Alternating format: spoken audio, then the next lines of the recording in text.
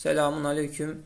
Bugün neredeyse herkesin aklına gelen, olur mu olmaz mı diye düşündüğü, fakat bir türlü çoğu kişinin yapmaya başlamadığı bir projeyle karşınızdayız. Projemiz buzdolabı motorundan klima yapmak. Bu mümkün mü diye biz de çok düşündük. Olur mu olmaz mı? Verim alabilir miyiz? Soğutma yapar mı?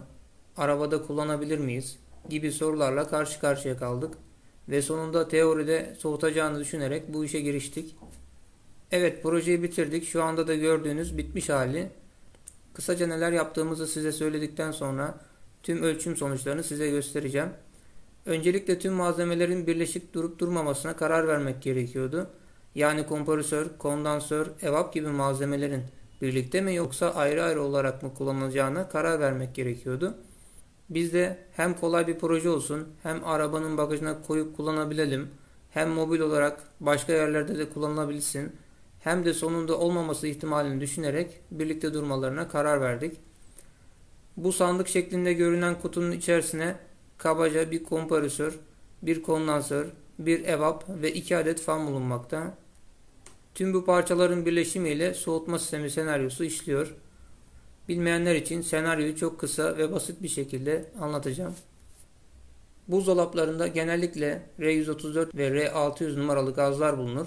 Bu gazların özelliği sıkıştırıldığında ısınması ve püskürtüldüğünde ise soğumasıdır. Buradaki sistemde de kompresörden gelen yüksek basınçlı sıvı halde olan gaz kondanserde sıkıştırılır. Ardından bu sıkışan gaz evap içerisine kılcal bir boru yardımıyla püskürtülür. Bunun sonucunda gaz sıvı halden buhar haline geçer ve anında soğur. Buharlaşan gaz ise yine kompresörün emiş borusuyla geri çekilir ve kompresör çalıştığı müddetçe bu döngü sürekli tekrarlanır. Şimdi burada gördüğünüz fanın çıkış borusu. Burada fan olarak kombilerde kullanılan fanlardan kullandık. Ve bu fan evaptan çektiği havayı yukarı doğru üflüyor. Burada gördüğünüz siyah delikli kısım evapın bulunduğu yer. Evap gazın buharlaştığı kısım. Bu bölüm ortalama eksi 20 dereceye kadar soğuyabiliyor. Bu kısmı eski bir klimanın iç ünitesinin evabını keserek yaptık. Buradaki sistemde fan çalıştığında ortamdaki hava evapın üzerinden içeriye doğru çekiliyor ve buradan fan yardımıyla dışarıya üfleniyor. Şöyle evap kısmını gösterelim. Buraya da bir dimir koyduk. Bununla fanın dönüş hızını ayarlıyoruz. Arka tarafına bakalım. Burada da 50'lik bir boru çıkışı mevcut. Bu boru kondanser fanının çıkışına bağlı. Kondanserdeki sıcak hava buradan atılıyor. Hemen yanından da elektrik girişini çıkardık. Bu arada kullandığımız kompresör 220 volt. Bunun da bilgisini verelim. Diğer tarafa bakalım.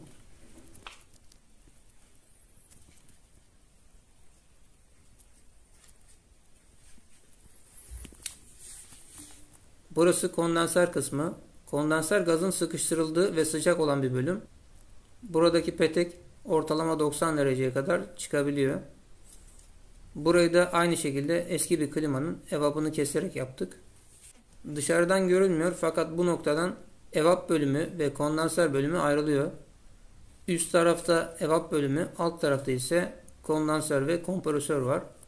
Buraya da su gideri koyduk. Evap bölümünden aşağıya damlayan sular altına yaptığımız tavadan hortum yardımıyla aşağıya kadar geliyor. Şöyle arka tarafında göstereyim. Teste geçelim. Şimdi teste başlıyoruz. Tüm değerleri görebilmek için birçok ölçü aleti bağladık. Bu değerlere göre projenin olup olmadığını göreceğiz. Buradaki siyah termometreyi evap çıkışındaki fanın borusuna bağladık. Buradan soğukluğu göreceğiz. Buradaki beyaz termometreyi arka taraftaki kondansör fanına bağladık. Buradan kondanserden gelen havanın çıkış sıcaklığını ölçeceğiz. Buradan da oda sıcaklığını göreceğiz. Ve son olarak prizde bir wattmetre var. Oradan da watt değerini göreceğiz. Fişi takıyorum. Teste başlayalım.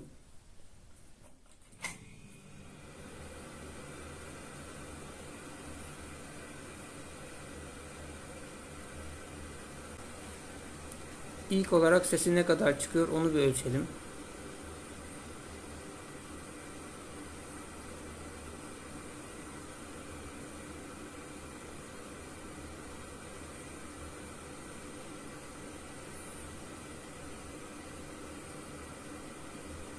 Ortalama 55-60 desibel ses çıkarıyor. En fazla 60 desibel diyebiliriz. Motorun sesi duyulmuyor. Genelde fanlardan ses geliyor. Bunun bilgisini vereyim.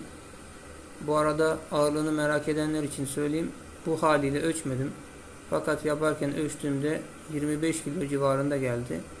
Bu kilonun fazlası var, azı yok.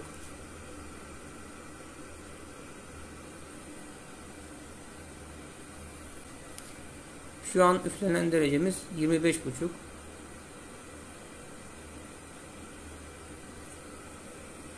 Fan en yüksek ayarda.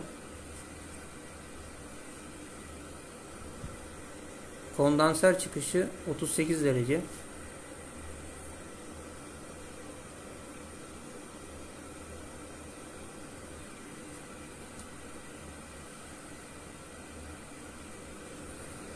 Şu anda serin bir hava var fakat yeterli değil. Biraz daha çalışsın bakalım.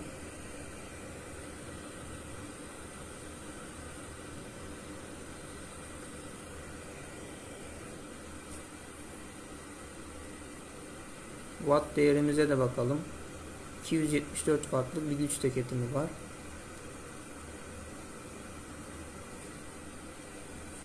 Amper değerini de görelim.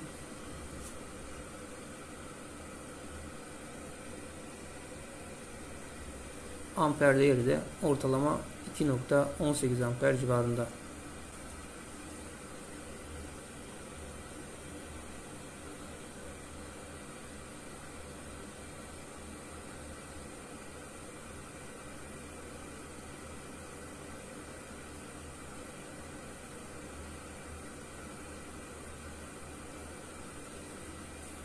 Sıcaklığı görebilmeniz için şöyle öne alayım bunu da. Evet değerler neredeyse sabitlendi. Fan en yüksekte. Soğuk üfleme ortalama 23 derece. Ortam sıcaklığı ile arasında 6 derecelik bir fark var. Bu ne demek oluyor? Cihazımız aldığı havayı 6 derece kadar soğutup fandan üflüyor anlamına geliyor. Bu fanın şiddetine göre değişir. Fanı kısarsak 10 dereceye kadar düşer. Fakat koyacağımız ortamı soğutabilmesi için fanın hızlı çalışması gerekir. Sadece kendimiz serinlemek isteseydik bu yeterli olurdu. Fakat biz arabayı tamamıyla soğutmak istediğimizden bu düşüş yeterli değil. Sıcaklık üfleme ise 40 derece civarında. Burada ise ortam sıcaklığı ile arasında 11 derecelik bir fark oluştu. Bu da aynı şekilde havayı 11 derece kadar ısıtabiliyor. Bu tip sistemlerde ısıtma her zaman daha kuvvetli olur. Klima alırken de örnek veriyorum 12.000 BTU bir klima alırsanız soğutma gücü 12.000 BTU iken ortalama 15.000 BTU bir ısıtma performansı olur. Fanı yarıma ayarlıyorum. Bir de öyle bakalım.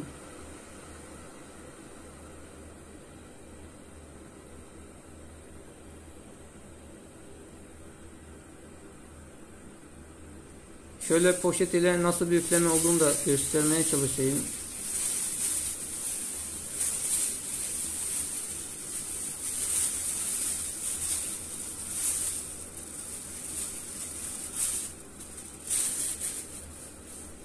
Yarım fanda dahi poşeti tavana kadar çıkarabiliyor. Bu arada yarım fanda 21.5 derece bir soğukluk veriyor.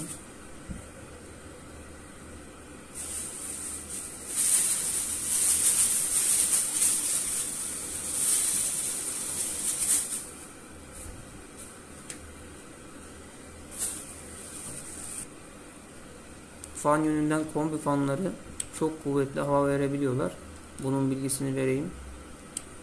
Fanın içindeki dereceyi de bir ölçelim.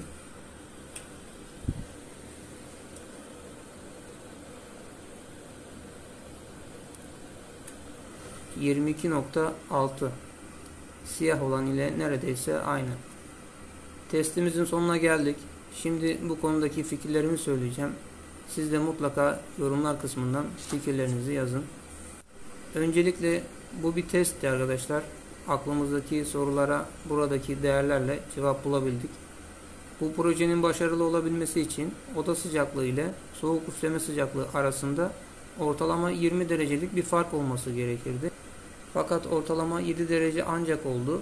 O yüzden bu cihaz ile araba veya oda soğutmak mümkün olmaz. Belki daha büyük bir kompresör ile yapılırsa çok daha iyi sonuçlar alınabilir.